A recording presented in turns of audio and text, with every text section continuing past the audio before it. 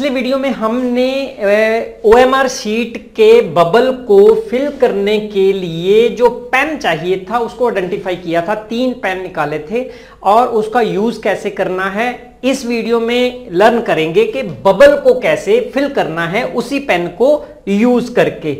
हैरानी की बात है कि सर्कल को फिल करने के लिए बबल को फिल करने के लिए वीडियो बनाया जा रहा है। कारण ये है कि there are large number of factors and skills are required to fill the accurate bubble in O M R sheet दूसरा, अगर आपका कॉम्पिटेटिव एग्ज़ाम जो है मेरिट बेस्ड है, जिसको नॉम रेफरेंस टेस्ट कहते हैं, एक क्वालिफाइंग टेस्ट होता है, एक नॉम रेफरेंस टेस्ट होता है, जिसका आपका कंपैरिजन दूसरों से किया जाता है और टॉप रैंक वाले उठाए जाते हैं जॉब सिलेक्शन टेस्ट मोस्टली उस, वो टेंशन वाला होता है। वहाँ तो ये बहुत ज़्यादा ज़रूरी है। कि ये बबल फिल करते समय कौन सी बातों का, कौन से मटेरियल का, कौन से स्किल का ध्यान रखना है कि आपके बबल को फिल गलत करके आपका सही थिंकिंग आपके पास, मान लीजिए सही आंसर था आपके पास, यहाँ पर सब कुछ सही था, लेकिन यहाँ कंक्रीट रूप में गलत ना हो जाए। तो बेस्ट रूल्स की बात करेंगे। आपके लिए क्या बेस्ट होता है? वो अलग बात है। जो मैं भी सुजेस्ट करता हूँ, वो ज़रूरी नहीं बेस्ट हो बेटर हो सकता है। उसमें से आपने एक्सपेरिमेंट करके एक्सपीरियंस करके जो आपके लिए बेस्ट लगेगा, वही चूज़ करना है। सब कुछ मेरा बताया चूज़ नहीं करना। तो ये वीडियो पर्टिकुलरली यूजफुल है, जिन्होंने फ़र्स्ट टाइम ओएमआर शीट पर जो फिलिंग करनी है सीखनी है और ये हेल्प करेगी कि टाइम कैसे सेव करना है और आंसर एक्यूरेटली ओएमआर शीट पर कैसे फिल करना है। साथ साथ में हिंदी में है देख सकते हो। आ, अब क्या है कि बेस्ट पेन और पेंसिल कौन सी है ये बात पीछे हो चुकी है। आ, इन जो डायरेक्शन आपको दी गई है जेल पेन नहीं यूज़ करना वो आपके कागज़ ओएमआर शीट को टेम्पर कर सकता है डिस्टॉर्ट कर सकता है और वो टाइम ज़्यादा लेता है। तीन पेन आइडेंटिफाई किए थे। इनमें से जो आपको बेस्ट लगता है एक्सपीरियंस करके देखिए ये पिछली वीडियो में बात हो चुकी है। रिक्वायर्ड uh, मटेरियल अब कौन सा है? हमने बबल फिल करना है। यहाँ से ये वीडियो शुरू होती है। uh, सबसे पहले पेंसिल कौन सी चाहिए? H B normally two H B option वैसे है। पेंसिल डार्क होनी चाहिए। एच बी पेंसिल होनी चाहिए। टू बी या फोर और सिक्स भी हो सकती है। देखिए, अगर आपने पेन से ही आपको डायरेक्शन है, इंस्ट्रक्शन है कि पेन से ही वो फिल करना है, फिर भी आप पेंसिल लेके जा रहे हो।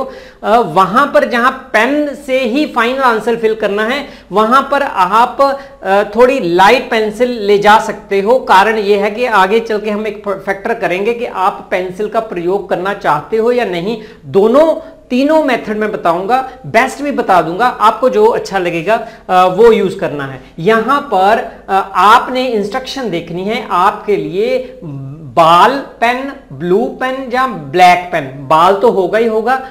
नॉर्मली ब्लैक पेन होता है, जैसे बी एड एंट्रेंस टेस्ट में ब्लैक पेन कहा गया है। तो पेंसिल आप रखोगे, नंबर एक हो गई। दो तीन पेन कम से कम रखोगे। कारण उसका ये है कि जब स्याही निकल जाती है तो एक पेन को रेस्ट दी जाती है, दूसरा पेन उठा लिया जाता है, तीसरा पेन को रेस्ट दी जाती है, और पहले वाला उठा लिया जाता है। ऐसे सर्कल में यूज़ करना इस बेटर होता है, अगर आप कॉन्शियस हो तो। बार बार क्वेश्चन पूछा जाता है कि व्हाइटनर यूज़ करना है। यहाँ पर क्रॉस लगा रहा हूँ नहीं। ये ये बिल्कुल यूज़ नहीं करना। ओ एम आर शीट पर अगर रॉन्ग आंसर फिल हो गया है। लेकिन रॉन्ग से बचने के लिए वो मेथड बताता हूँ। इरेजर का प्रयोग करना है। यस हो सकता है। जब वो स्ट्रेटजी में पेंसिल वाली पेंसिल वाली स्ट्रेटजी जब बताऊँगा पेंसिल से पेन की तरफ़ जाना है। यहाँ से मूव करना है। आ, वो अभी बता देता हूँ। नेक्स्ट है कि ब्लेड का प्रयोग बिल्कुल नहीं क्रॉस है मार्कर और स्केच पेन नहीं। नॉर्मली जो बी एड या एम एड के जो एग्ज़ाम हो रहे हैं यूनिवर्सिटी में फ़र्स्ट जो ओ एम आर टाइप की शीट वो बबल फिल करने होते हैं, वहाँ वो यूज़ कर लेते हैं। लेकिन कॉम्पिटेटिव एग्ज़ाम में इनका प्रयोग अगर इंस्ट्रक्शन में है तो यूज़ कीजिए अदरवाइज़ नहीं करना। जैसे ये क्वेश्चन पूछा गया है बार बार पूछ रहे हैं, सर वाइटनर यूज़ कर सकते हैं, नहीं कर सकते? इसका उत्तर है कई बार एक्सीडेंशली आपकी ओएमआर शीट जैसे मेरे साथ ही ये हुआ था कि ओएमआर शीट है और ये उड़ी फ़ैन से उड़ी और ये मेरा पेन यहाँ पर ऐसे टच कर गया। और मुझे पता था ऐसे टच कर गया थोड़ा सा ना। मुझे ये पता था कि आंसर जो है सी है। लेकिन यहाँ पर मैं फंस गया कि अब ये। तो ये कन्फ्यूज़न दूर अभी एक मिनट में हो जाते हैं ऐसे में क्या करना है? आ, उसके लिए ये नॉलेज चाहिए कि जो स्कैन करते हैं ये ओएमआर शीट वो कितनी एक्यूरेसी को उठाते हैं? हालाँकि उसमें डाउट है आ, ये हिंदी में है वही पॉइंट अच्छा स्किल ऑफ़ फिलिंग बबल और सर्कल बुलबुले को, वृत्त को भरने का कौशल क्या है? सबसे पहले ये जान ले कि ओएमआर शीट स्कैन होती है तो कितने बबल को फिल करके जो वो रिस्पॉन्स को उठा लेता है। हालाँकि ये डाउट वाला काम है, लेकिन एक केस है मेरे पास। अच्छा स्कैनिंग होती है मशीन स्कैनिंग होती है। आपकी ओ एम आर शीट बिल्कुल स्ट्रेट सीधी चाहिए बेंड नहीं होनी चाहिए, उसको डिस्टॉर्ट नहीं करना, उस पर लिखना नहीं है। ये बार बार निर्देश दिए गए हैं। इसकी एक्यूरेसी तो इतनी बताई जाती है आ, लेकिन हम कहाँ से लर्न करेंगे ये कहीं कहीं भी नहीं है। कोई कहता है कि 95 परसेंट फिल हुआ होगा तो वो उठा लेता है। कोई कहता है कि 75 परसेंट ये बबल आ, फिल हुआ है उसको उठा लेते हैं। ए, एक कहा जाता है कि ये जी आपने फिल किया है मान लीजिए इतना है ना? तो ये बीच में इतना रह गया ये 95 है ये उठा लिया जाएगा। आ, कोई कहता है कि इससे कम भी वाला उठा लिया जाता है पर इन बातों में नहीं आना हमने। आ, हमने क्या लर्न करना है कि ये ये रहा कि जो केस है आ, इन्होंने बड़ा आया है नेट से ही मैंने उठाया है कि परीक्षा में ओएमआर शीट में मैंने दुर्भाग्यवश विकल्प बी में एक बिंदु लगा दिया था। ओके? जैसे वही अभी बताता हूँ लेकिन सही उत्तर विकल्प सी था। तो फिर मैंने विकल्प सी पर गोला लगा, लगा दिया और क्या मुझे अंक मिल सकते हैं? इस बात को समझिए अभी जैसे जैसे बी में एक डॉट लग गया और बाद में ये आंसर नहीं था लग गया बाय चांस लेकिन थिंकिंग ने कहा ये नहीं ये रा, राइट आंसर है। तो यहाँ पर आ गए आप यहाँ फिल कर दिया। अब इसका आ ये रहा। अब इसका उत्तर मतलब ये ज़ीरो गिना जाएगा, जहाँ इसका जो है राइट आंसर मिल जाएगा मार्क वन इसका मिल जाएगा। क्वेश्चन ये है। प्रैक्टिकली कंसेप्चुअली जो एम शीट है, वो इतने डॉट को नहीं उठाती, अगर पूरा फिल किया हुआ है, इसको ही उठाती है। लेकिन इसका इलाज है कि यहाँ आप पेंसिल यूज़ कर सकते हो, जहाँ पर आप डाउट में है कि बी इज़ राइट आंसर और सी इज़ राइट आंसर अगर बाई चांस भी इतना डॉट लग गया है है ना? तो उसको ब्लेड से इरेजर से, किसी से भी रब करने की कोशिश मत कीजिए, क्योंकि उससे आप पेज को फाड़ दोगे। और जो बेटर क्या है कि दूसरा जो सही आंसर आपको लगता है, उसको अच्छी तरह से फिल कर दिए अच्छी तरह से मतलब ये नहीं है कि उसको ऐसे ओवर ही कर देना ही, ज़्यादा भर दू। ये वाला भैया देख लेना। भैया, ये बड़ा है यारा, देख लेना। यारा यारा, मिलना तुम, ऐसे नहीं है। तो ऐसे भी नहीं करना। कर फिल पूरा ही करना है, इतना ही, पूरा ही करना है। ओके उस स्किल की बात करने लगे हैं अभी। ये पॉइंट आपके लिए बेस्ट हो सकता है कि आपने पेंसिल का यूज़ करना है, जहाँ आपको पेन का बोला गया है। तो पेंसिल का आपने प्रयोग करना है हेल्प लेने के लिए, सिर्फ़ mark temporary T for temporary mark करने के लिए। मैं ये सुजेस्ट करूँगा ऑप्शन क्या है कि पेन का प्रयोग है तो सिर्फ़ पेन ही प्रयोग करें। दूसरा ऑप्शन है कि पेन और पेंसिल दोनों का प्रयोग करें। आ, लेकिन बेस्ट ये पॉइंट है इसको रीड कर लीजिए जो पीछे थोड़ा सा मैंने बताया भी है। तो पॉइंट क्या है कि अगर आप डाउटफुल हो यहाँ पर जाके ही बता देता हूँ अगर आप डाउटफुल हो कि मेरा क्वेश्चन जो है जहाँ पक्का मैंने कहा यहाँ मार्क नहीं करना। बता रहा हूँ ये मार्क नहीं करना ऐसे मार्क नहीं करना। ये बता रहा हूँ सिर्फ़ कि आपको पता लगा है आपके मन में ये टिक लगा लिया कि ये वाला भी नहीं है डी भी नहीं है और बी और सी में राइट आंसर है तो ये मेरा क्वेश्चन मार्क है। तो अब आप ए, इस क्वेश्चन को आगे चल के भी बताऊँगा। यहाँ नहीं अपनी शीट पर अपनी क्वेश्चन बुकलेट पर क्वेश्चन शीट पर, यहाँ पर आप, ये देखिए ये देखिए, ये ये, है ना? यहाँ पर आप, ये रहा यहाँ। आप डी लिख लीजिए। डी मीन ये क्वेश्चन मेरे लिए डिफ़िकल्ट है डिसीज़न लेना डिफ़िकल्ट है, बाद में इसको टिक करूँगा।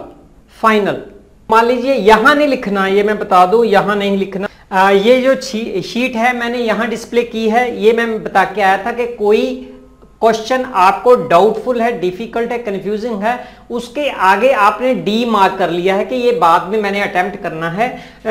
ये डी अटेम्प्ट करने लिखने के बाद आपने ओएमआर शीट को ओ एम आर शीट पर पेंसिल से यहाँ जहाँ पर आपको लगता है ये मुझे ज़्यादा ठीक लगता है लेकिन बी और सी में मैं कंफ्यूज हूँ। तो यहाँ पर बाद में जब सेकेंड राउंड में आप इसको रिविजिट करते हो क्वेश्चन को रीथिंक करते हो क्वेश्चन को दोबारा पढ़ के आप फाइनल डिसीज़न फॉर एग्जांपल बना लेते हो कि सी इज़ राइट आंसर तो ये जो पेंसिल से ये पेन से आपने पक्का कर दिया ओके अब पक्का कर देना है सेकेंड राउंड है अब आपके पास टाइम नहीं है. ये जो पेंसिल से था आ, ये पेंसिल से आप क्यों किया? इरेजर यहाँ यूज़ होगा ये मैंने रब कर दिया. इट मींस यहाँ पर पेंसिल और पेन का प्रयोग हुआ सिर्फ़ डाउट डिफ़िकल्ट और कंफ्यूज्ड क्वेश्चन में।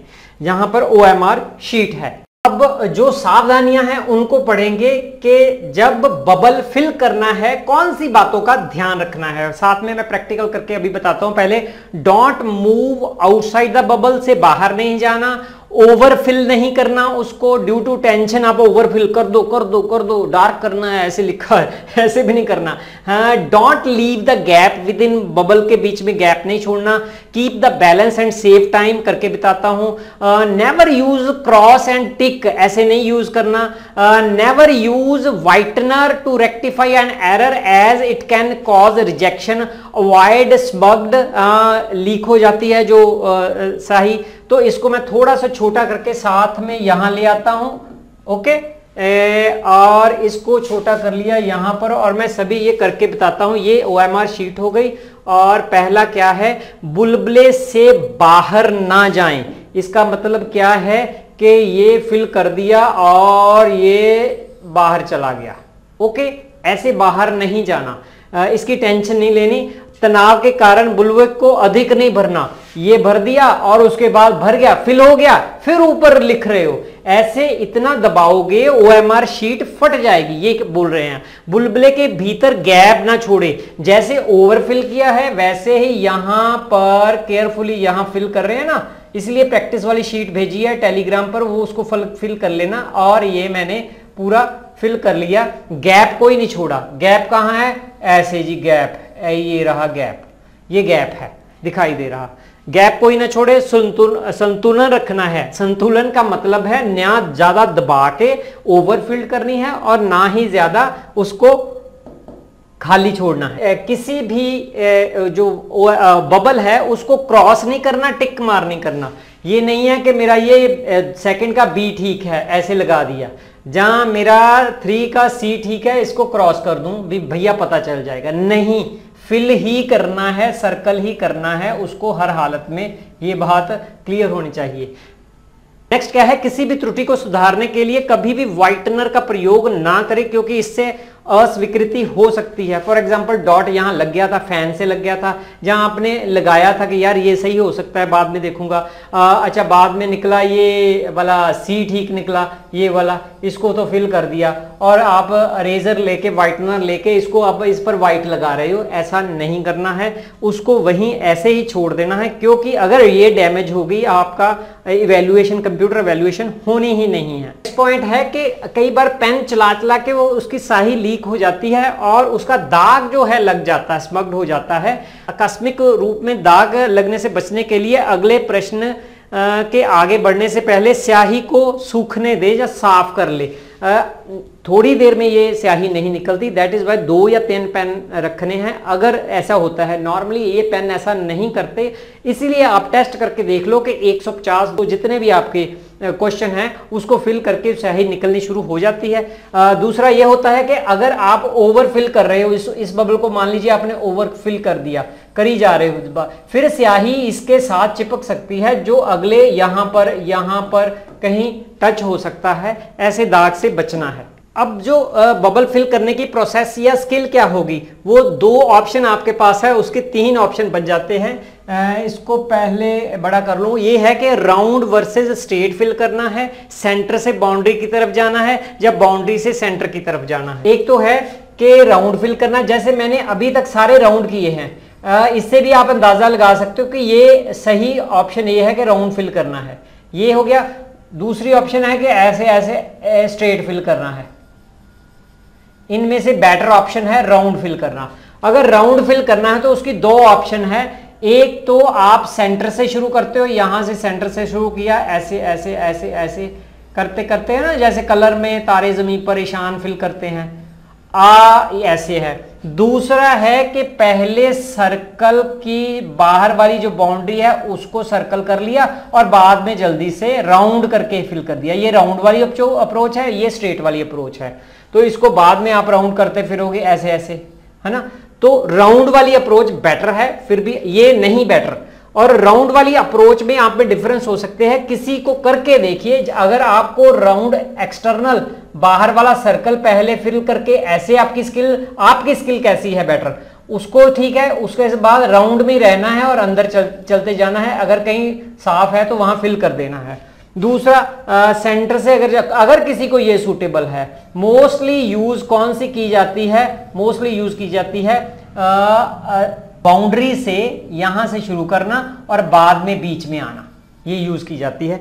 बाकी आपके लिए जो सूटेबल है, वो यूज़ कीजिए। ये एक प्रोसेस का पार्ट है। वो नेक्स्ट वीडियो में होगा कि प्रेफर कीजिए। अगर आप पहले ओएमआर शीट इसको फिल करते हैं, यहाँ पर, पहले आप यहाँ टिक लगाते हैं। ये मेरे पास शीट है, इस पर बता देता हूँ। जैसे ये लड़की ने, ये देखिए, ध्यान से ध्यान से ध्यान से, ये बताऊँगा ये दिख रहे हैं ना? इन्होंने पहले आंसर अपने टिक किए हैं।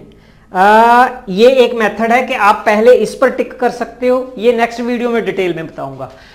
अगर ये अप्रोच आप यूज़ कर रहे हो कि आपने आंसर क्वेश्चन ये वाली क्वेश्चन बुकलेट पर टिक किए हैं और बाद में इस पर फिल करना है। इसकी चार अप्रोच है अगले वीडियो में होंगी। तो आपने ये पक्का रखना है कि लास्ट यूनिट या लास्ट सेक्शन या लास्ट टाइम जो है वो साइड बाय साइड फिल कीजिए टाइम की मैनेजमेंट अगर नहीं होती। अगर ये बात समझ नहीं आई तो नेक्स्ट वीडियो में क्लियर हो जाएगी। हाँ ये सबसे ज़्यादा ज़रूरी है एक्यूरेसी के लिए साइंटिफिक है। एंड सर्कल जब फिल करने हैं, ये साइकोलॉजिकल मेथड है और वाइगोस्की की लर्निंग थ्योरी जो है, आप पढ़ोगे बीएड में भी उस पर बेस्ड है कि use think aloud in the form of whispering of the question number and answer the option Hindi में भी इसको पढ़ देता हूँ। प्रश्न की संख्या और उत्तर विकल्प की फुसफुसाहट के रूप में ज़ोर से सोचने का उपयोग करें। ये क्या चीज़ है? इसकी डेमो देता हूँ अभी। मान लीजिए ये उत्तर पत्रिका है आ, है क्या है ही है। ओ एम आर शीट हो गई ये पत्रिका है। मैं सेकंड क्वेश्चन करने लगा हूँ। क्वेश्चन है how many M Ps represent Punjab state in Rajya Sabha मैंने ये बोल के नहीं कर रहा और मैंने देख लिया थर्टीन राइट आंसर ए है। तो अब मैं डेमोस्ट्रेशन शुरू होने लगी है। क्वेश्चन नंबर सेकंड ए ये मैं बोल रहा हूँ थोड़ा थोड़ा बोल रहा हूँ। सेकंड का ए सेकंड का ए सेकंड का ए, सेकंड का ए, सेकंड का, अब चुप कर जाओ बेशक। तो जब अगर आप ये साथ साथ में बोलते रिपीट करते रहते हो, दो चीज़ें रिपीट करनी है। एक तो क्वेश्चन नंबर और उसका ऑप्शन कौन सा सही है? क्योंकि वही चीज़ आपने यहाँ पर रिकॉग्नाइज पहचाननी है रिकॉग्नाइज करनी है। क्वेश्चन नंबर दो और ऑप्शन है ए ये अगर आपका आप भूल जाते हो, जहाँ तो आपका टाइम ज़्यादा लगेगा रिपीट होता है 10-15 क्वेश्चन भी ऐसे रिपीट हुए टाइम ज़्यादा लगेगा। अगर ये साथ साथ में विस्प्रिंग करते रहते हो विस्प्रिंग का मतलब है क्वेश्चन नंबर दो ए दो ए दो ए दो, ए। तो आवाज़ किसी दूसरे को सुनाई ना दे, कोई दूसरा डिस्टर्ब ना हो, लेकिन आपकी थिंकिंग जो है गाइड होती रहे आपकी आवाज़ से। नेक्स्ट है, प्रश्न क्रमांक उत्तर विकल्प पढ़ते समय उंगली या पेन का प्रयोग करें। ये भी जैसे पीछे बोलना है, दूसरा है कि यूज़ फिंगर और पेन वाइल रीडिंग ये ये क्या है? जब आप रीड कर रहे हो क्वेश्चन बुकलेट से क्वेश्चन को रीड कर रहे हो वो क्या था कि जब क्वेश्चन बुकलेट से पढ़ लिया है, फिर आंसर देना है। अब मैं करके बताता हूँ फॉर एग्ज़ाम्पल ये मैंने फिंगर ली और जहाँ पेन लिया, क्योंकि आप इसको टच वो पेन लगा सकते हो, ठीक? और पेन लगाना ज़्यादा ज़रूरी है। आप मेन फ्रेज को अंडरलाइन कर सकते हो सर्कल कर सकते हो, जो आपकी सोचने के लिए हेल्प करेगा। तो अब आपने जो फिंगर रख के देखा कि ये थर्टीन आंसर है। थर्टीन आंसर है, साथ में फिंगर रखी, ये ये ये रहा ना, जैसे, ऐसे। फिंगर रखी है फिंगर रख के आप कह रहे हो कि ये थर्टीन है और ये टू का है टू का थर्टीन ए है। टू का थर्टीन ए ऐसे करके फिल किया। तो जब आपने रीड करना है फिंगर का प्रयोग जहाँ पेन का प्रयोग, करना ही करना है। ओएमआर शीट के किसी भी भाग पर कुछ भी नहीं लिख सकते आप। फॉर एग्ज़ाम्पल आप यहाँ पर लिखने लगे हो कुछ के पेन चला के देख रहे हो आ, कोई साइन लिख रहे हो जी मैंने कोई साइन लगा दिया ऐसे कुछ भी नहीं लिखना का किसी भी पार्ट पर कुछ नहीं लिखना सिर्फ़ उसके रिस्पॉन्स जहाँ फिल होने हैं और बेसिक डिटेल फिल होनी है वहाँ पर ही आपने लिखना है। अदरवाइज़ इवेल्युएशन में प्रॉब्लम आ जाएगी रिजेक्शन पॉसिबिलिटी है। आ, ये था कि फिल कैसे करना है। नेक्स्ट वीडियो होगा कि अप्रोचेज क्या है। चार अप्रोचेज हैं। नेक्स्ट वीडियो में डिस्कस करेंगे। Thank you